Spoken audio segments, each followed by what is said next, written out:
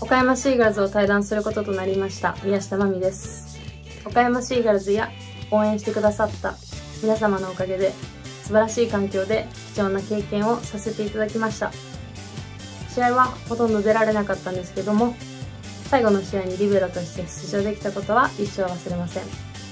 今まで声援を送ってくださった方々にはたくさん背中を押してもらいました。本当にありがとうございました。岡山シーガルズは日本でも屈指の素晴らしいチームということはカナダにいた頃からずっと知っていて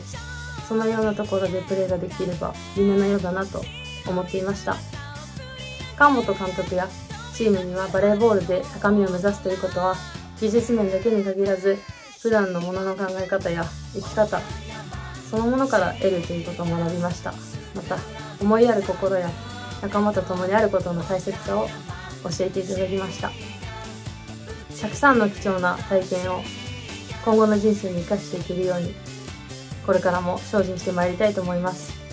本当に応援ありがとうございました。感謝の気持ちを忘れずに頑張ります。引き続き岡山シーガルズの応援をよろしくお願いします。